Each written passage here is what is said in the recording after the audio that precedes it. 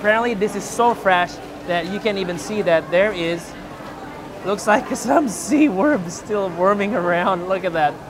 Oh my gosh. Hey guys, it's Nick. And Helmi. And welcome back to our channel. Today we are feeling for some fresh and cheap seafood here in Sydney. So we're gonna take you along to one of our favorite places to eat seafood, and that is the Sydney, Sydney Fish, Fish Market. So Sydney Fish Market is a must-visit attraction here in Sydney. But just in case if you have allergy to seafood, don't worry, we're gonna get you covered because they actually have one of the best butcher here in Sydney. Now to get here is very simple. You can take the light rail from Central or you can pretty much walk from Darling Harbour or Pyrmont because it's just directly behind. Or you can I guess take an Uber or a cab or just drive like us because we're lazy. and we are carrying a lot of gear anyway so anyway we'll show you guys. So one pro tip as a local to visit Sydney Fish Market is bring your own sauce. Trust me, inside you have to buy your own sauce. So today I'm bringing my sriracha. Sometimes I bring the chili or mayo or tartar sauce. Just bring your own sauce.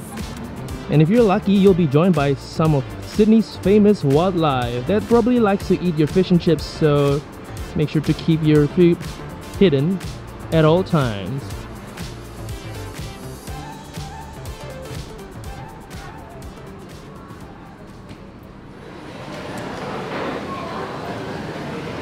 I can smell the seafood, all the seafood.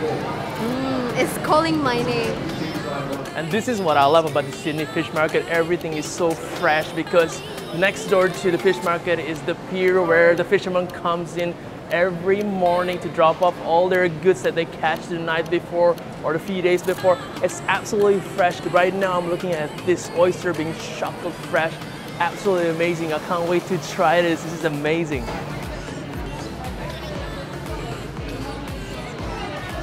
Look at that, there's just so much oyster here. Oh my god, there's so much different selection. It's absolutely crazy. So inside the fish market, you've got all these different vendors, right? This place here is Peter's, one of our friends' name. You guys probably know who.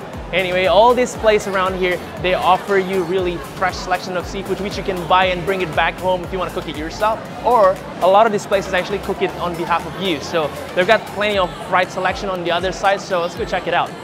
We already decided that we're gonna order the Aburi scallop with cheese on top, yum! And also some oyster and some sashimi. That's first round. So Sydney Fish Market is very famous with the tourists, especially from China, because they love fresh seafood. So there are a lot of tourists from China and they're flipping out $100 notes. Whereas for us, the locals, we are flipping out $10 notes. so for first round, we got the Aburi scallop, which is 3 for $12. We got salmon sashimi for $8. It's about almost 200 grams. And also hoo, hoo, hoo, the half dozen of Tasmanian oyster. We got the Aburi scallop with some mozzarella cheese melted on the side. Look at this. They got some fish roll there. You got this scallop. You got two pieces, and it looks like some rice there, some rice green there, and then all the melted cheese on the side, and a little bit of the teriyaki sauce, I think. Oh my god, it looks so good. Oh, it smells amazing too. All right, let's try it. Mm. Oh my god, that is so sweet with the teriyaki sauce. It's really nice and soft, bouncy like a mattress. It's so fresh. You don't even taste that fishiness usually that you get from a seafood. It's just perfect. It's so good. So why do I only get half dozen? Because this is not Nick's thing, it's Helmi's thing. If I got uh, the full dozen, I'm gonna eat them all. So I'm just gonna get half dozen. Look at this. Ooh. Get some lemon.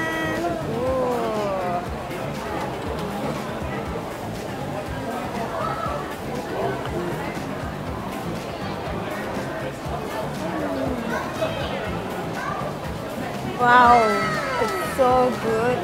It tastes like the sea and the meat is so fresh, so slimy, it's literally dissolved in your mouth. And with some lemon, oh, it's perfect. All right, now it's my turn to try the oyster. Now, as you probably know it, oyster is not really my thing because sometimes oyster can be really strong in flavor. So not for everyone.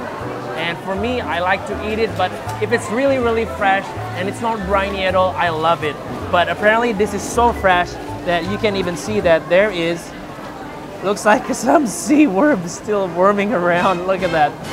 oh my God. I am just happy there's some lemon here for me to wash down the oyster. So I might try the one on the right. Score. There's no worm there, so I'm just gonna like I'm gonna try to peel it first to make sure there's no worm underneath. Yeah, yeah I'm, I'm, I'm safe. I'm safe, guys. So I'm safe. Definitely all good. All good there.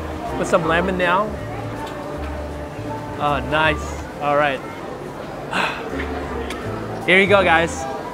Let's try this.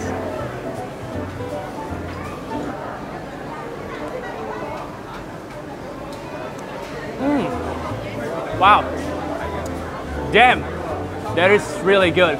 It's actually a bit salty there because there's some, I think there's some sand there, but it's not as strong as what I thought it should be. Really soft, really soft. It just slides down your throat. But there is aftertaste though, so I feel like I need something to wash it down right after this. So, yep, otherwise it's a really good and fresh oyster. But if you don't know it as well, Japanese people actually do love eating oyster as well because apparently oyster is aphrodisiac. You know what I mean. Now we're up to the part where we try some of the best raw food here in this fish market, which is a salmon sashimi.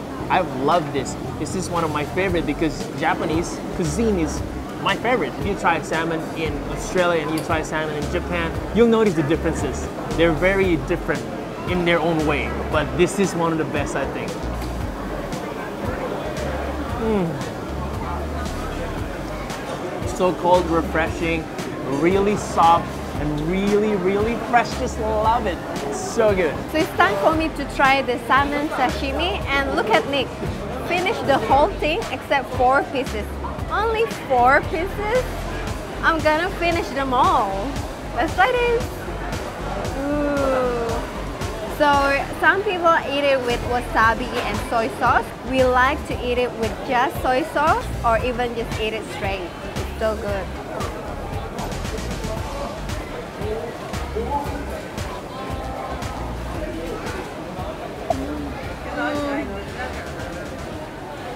Oh my god. So inside the Sydney Fish Market building, there are plenty options for everyone. Of course, you got the seafood, you also got the yum cha, you got the Chinese restaurant, you got the coffee, the bakery, and outside there's Vic's Meat Market offer one of the best and premium meat right there. Good day to spend in Sydney having your seafood or non-seafood, just enjoying with your family and your friends. And of course, Sydney Fish Market have the live auction every single weekdays.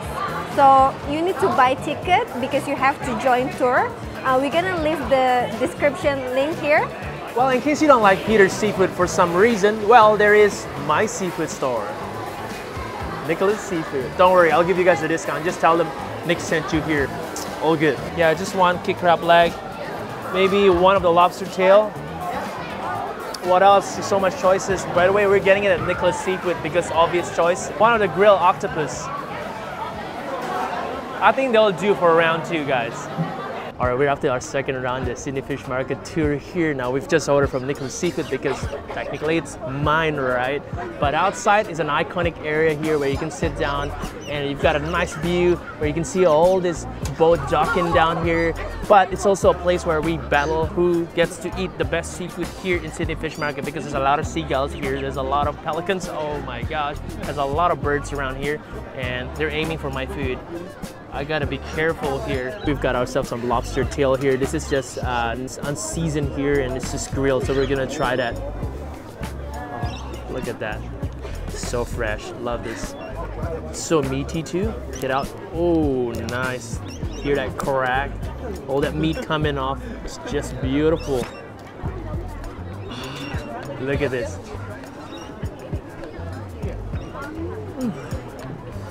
It's actually really crunchy and really juicy as well. A lot of meat, really tasty as well, very delicious. But this is what me and Helmi like to do. We want to add some sriracha sauce. So it's just, there we go.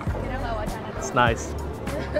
I just dip it that into that sriracha sauce. Oh, it's gonna be really nice.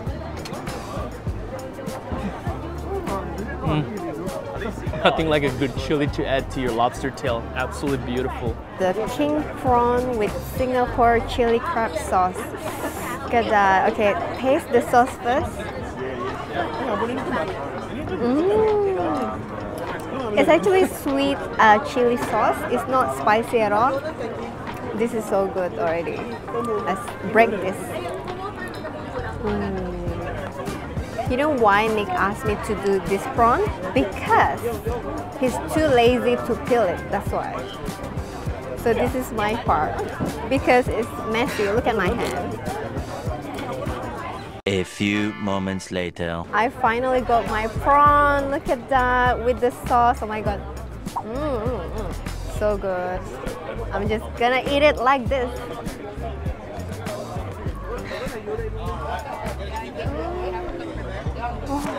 The meat is so fresh, so meaty. It's not overcooked at all. And then with the sweet Singapore chili crab sauce, delicious. I really loved it.